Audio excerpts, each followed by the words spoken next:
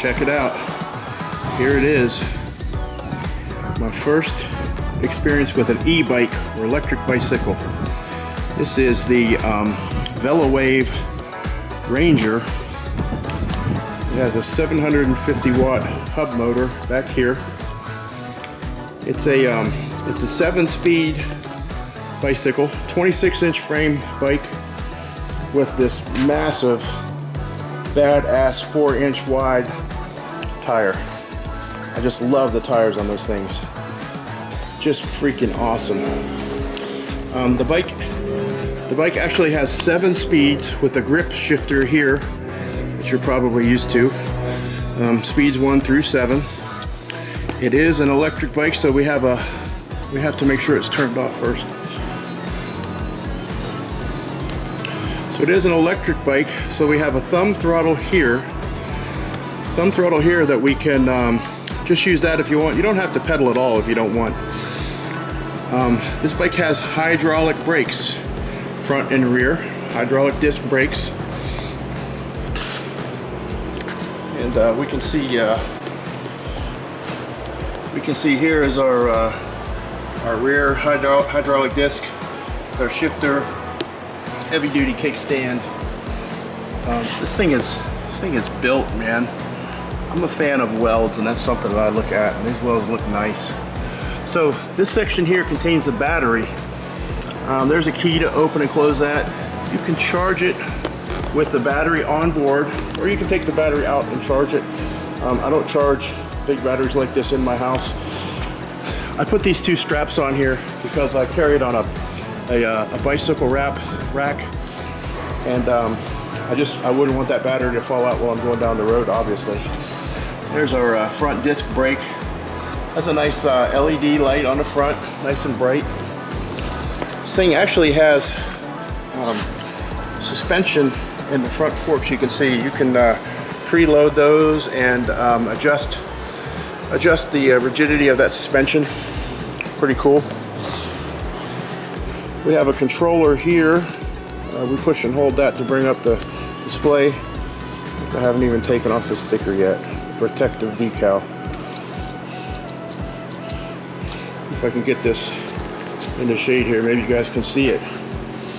It shows you our, um, get zoomed in a little bit, maybe we can see it. The display there, the display there shows you your, um, your speed in the top left, shows your battery, shows how many miles you've traveled on it. We have an up, up and down button here. Um, we push and hold that up button, get the light to come on, yeah. And this up button shifts through the different motor speeds, starting at one in the bottom left corner, goes all the way up to five. That's the speed of the motor. So you control the speed of the pedal by shifting gears over here on the grip shifter like on a regular bicycle. Um, I added another LED light to the front up here um, because I wanted the blinky light in the back and that's required by law here uh, uh, in Florida where I live. So I picked those up on Amazon. It's a little uh, off center there. But we got the red fancy Knight Rider blinker LED on the back just to be safe. So I meant to make a, uh, I wanted to make a good unboxing video, but it's been super, super windy here lately.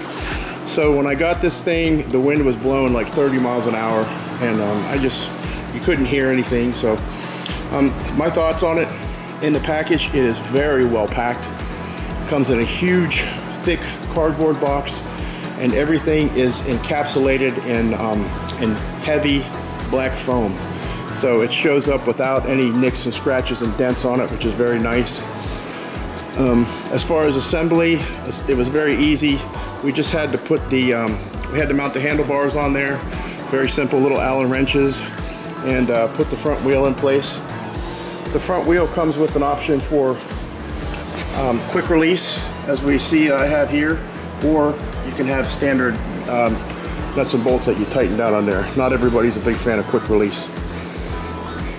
But if you do it right, your wheels are not going to come off.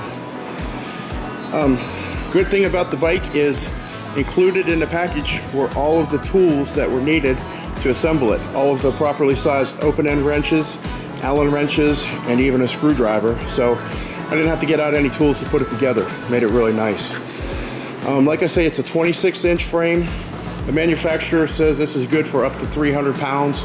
Um, I'm sure it's probably good for more than that. It's a heavy duty bicycle. I don't think I'd want to have to pedal it real far without a battery for pedal assist, but um, those wide tires are really nice. They handle really well in the sand and the dirt. So I'm gonna start putting it through the paces. Um, I'm gonna ride it around out here at the airport a little bit and get used to it. I'm gonna be taking it down to the Sunnyland fly-in. And uh, that's what uh, I'm working on a sign here for my paramotor school. We got some specials for paramotors that we're gonna sell down there. And I'm gonna take the bike down there to Sunnyland and uh, try it out. Let some of the other pilots try it out and uh, see what they think. All right, here we go.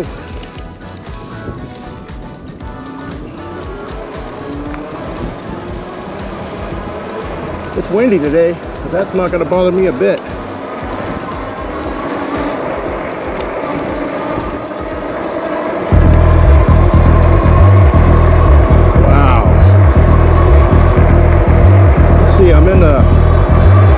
Gear as far as pedaling goes, and I'm on fifth speed.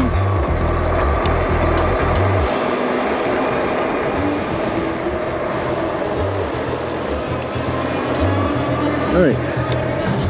So I'm in the highest gear on the sprocket.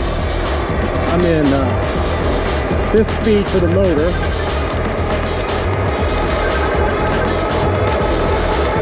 25 miles an hour. And the phone's ringing. 26. Wow. 27 and my feet are just moving.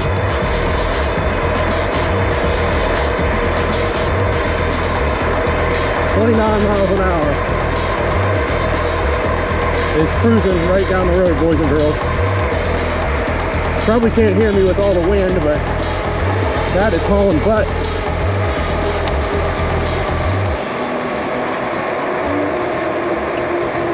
We'll slow down a little bit for the turn here.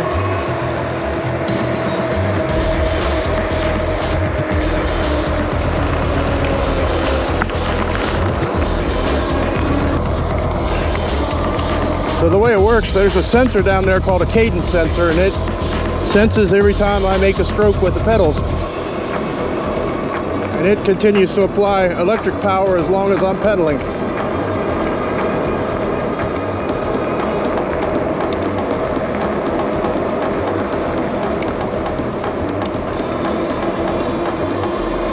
I guess you still get some exercise that way.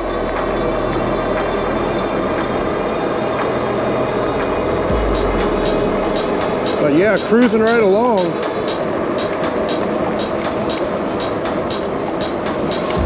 Very nice.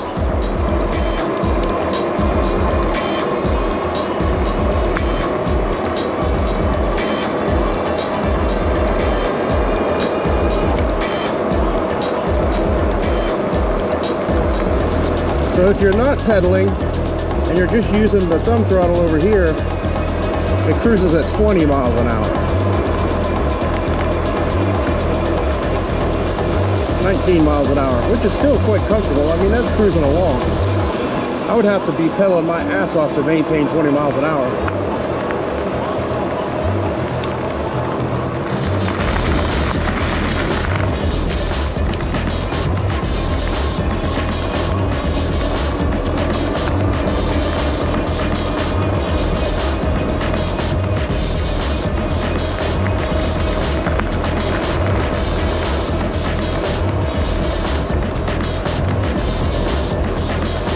How you doing?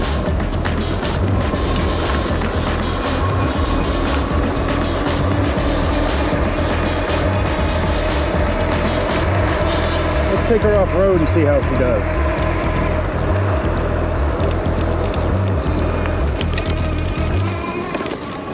Wow, that front suspension eats it up.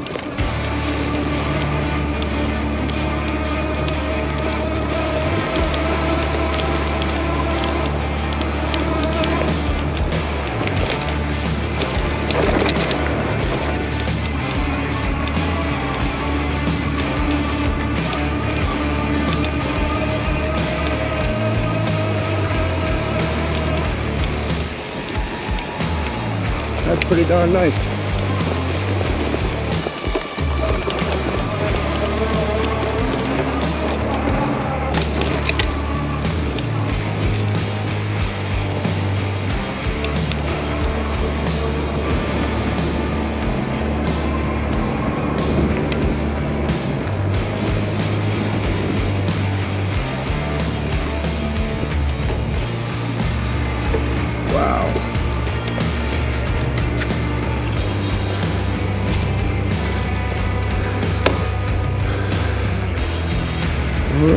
Shut her down.